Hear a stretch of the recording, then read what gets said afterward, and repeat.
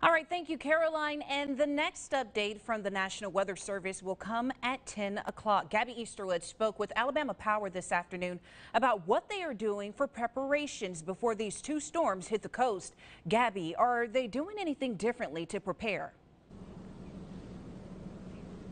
Well, Amber, uh, not necessarily anything different in terms of preparation, but when there's two storms heading your way during a pandemic, it definitely can be unprecedented. But Alabama Power says they have crews ready on standby. Now, they are letting everyone know they have a plan in place and crews can cross state lines if response is necessary.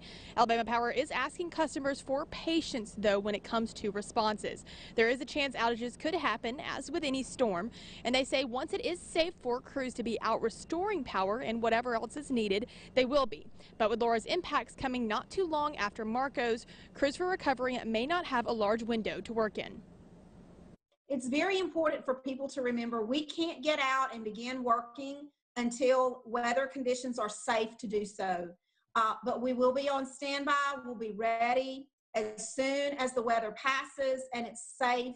We'll have crews out working